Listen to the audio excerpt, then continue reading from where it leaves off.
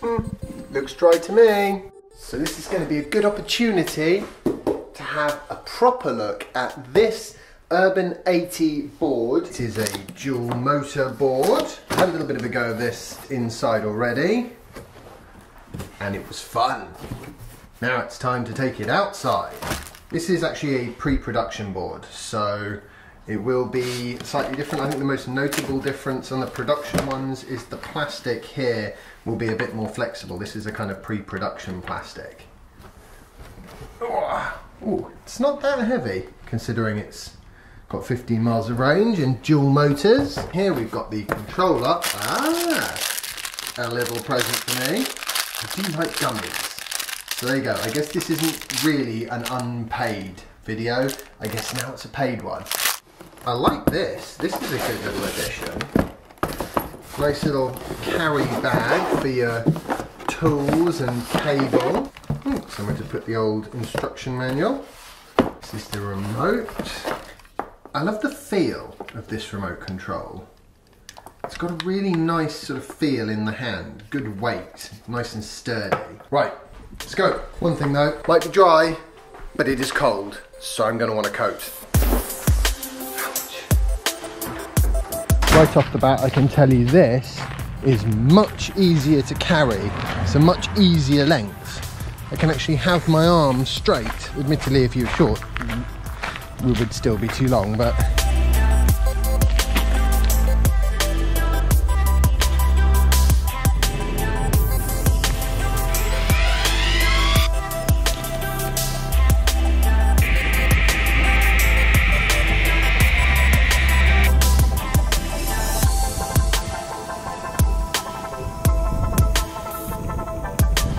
thing could go so fast if I wanted it to and if I wasn't like numb.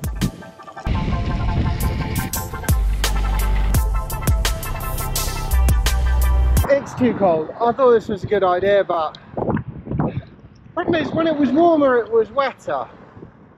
oh well, that's England in winter time. Maybe I'll get another go in summer when I can really appreciate what is quite clearly a very awesome machine.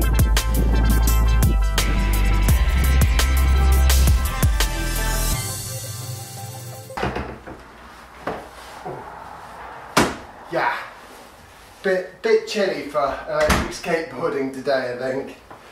But the real problem is I need fingerless gloves or something because obviously I still need to be able to feel the remote in my hand. Not to mention, on the uh, remote, get a bit closer, we've got a battery gauge and a remote gauge and a signal and the miles per hour. And there's probably a lot more features that this can do as well because I haven't had a look.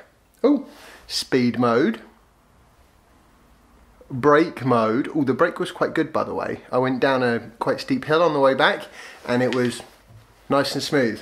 Fantastic. So I like that. I hate it when you have a brake and you're a bit, you don't trust it. That's not good. Especially when you find that out halfway down a hill. Ready to pair. Calibration. Ooh, wheel size. Also, you can select your wheel size. Presumably that's the 110, that's the rough stuff wheels, and the 83 are the slick wheels that you can get with it. You can get this board for 899.99 with the slick wheels, or 949.99 if you want the rough stuff wheels, or 969.99 if you want both sets of wheels. Personally, if it was me, given that this is quite a short board anyway, I would go for the rough stuff 110 wheels because that way you're less likely to be caught out by a stone that you didn't see coming. Particularly like the design of this deck, you've got the flex and a good amount of range and it's quite nice and compact for an e-board and that I'm very keen on because if it takes up a load of room then you just can't take it with you because it won't fit in the car. I mean, have you seen the car I'm driving at the moment? This will actually fit in the back of it though, which is good. I'd love to give that a go, but I don't have the time. I've got to pick Jasper up in a minute and uh, then it's going to rain and be really, really cold forever. Really, I don't know who would choose to live in the UK, especially at the moment. Wow, we've got such a mess going on with politics. It's hard to think about anything else.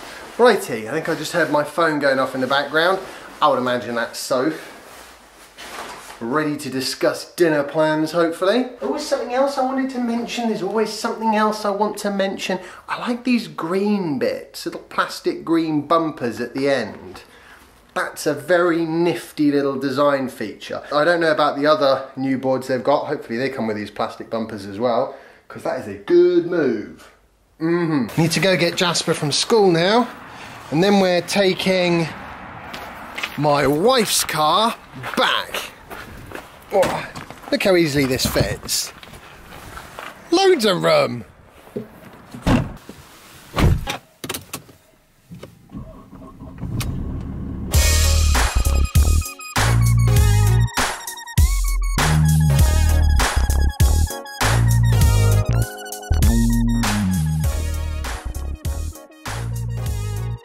as you might be able to see, that the light is kind of fading whilst Jasper's asleep. I can't resist a short sort of run up and down the car park here on this board because, you know, tell you what, it was made a nice change driving this Merc from the Smart. Oh, I was not a big fan of the Smart. Mm -mm. Now, you come, and I'm going to need the remote control. Board on. I do find these Slick Revolution boards sync up nice and quickly.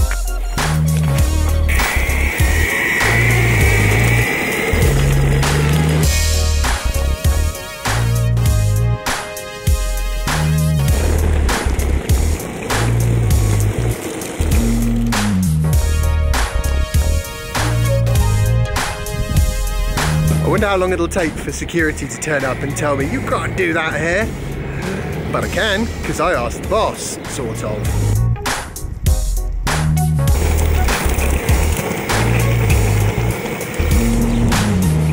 It's a bit bumpy this tarmac, but luckily I've got rough stuff wheels and a slightly flexible board. So it's not too bad, still quite comfortable. Tell you what, there's plenty of power on these boards.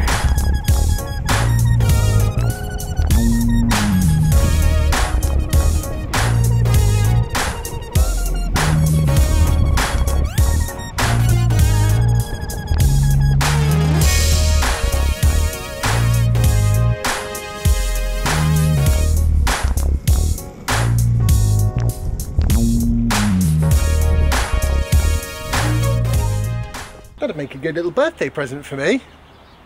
Hey, Soph? Is he still asleep? Yes. Awesome. Not had a chance to test the range, of course, but 12 to 15 miles would be perfectly reasonable and doable. And more to the point, look how diddy the thing is. Beautiful tiny little thing. Really fantastic, really enjoyed it. Would quite like one actually. So yeah, if you want to know anything more about the Urban 80 from Slick Revolution, you can go to their website. The link will be in the description. It's a great little company. I've been following them for years now, watching them grow and the products they sell improve. Yeah, good job, guys. We're going to go off and have some fast food now, I think. That seems like it's going to be the plan. Okay, we're home. We had a yummy meal out, didn't we, Jazzy? No, we didn't. I enjoyed it. Did you enjoy it, Jasper? Yeah. Uh, You got a Pikachu? Wow. I bet everyone can guess where we went now. See, we like to eat out in style. Well, I've thoroughly enjoyed my little test of the Slick Revolution board. I'm sad to see it go. But it's not mine, it was just a loaner. Now we're home, I'm going to say goodbye for the today. Hope you've enjoyed today's vlog post. If you have, remember to like it, share it, subscribe if you haven't already. If you follow me on Instagram and Twitter if you don't already. And I'll see you tomorrow, maybe, for the next episode of my vlog. Bye. And I will see you hopefully tomorrow for the next instalment of my daily vlog. Bye. Although honestly, I've got to tell you, it's not likely to be tomorrow, and the vlog is only kind of semi-daily at the moment, but we're getting there. Bye.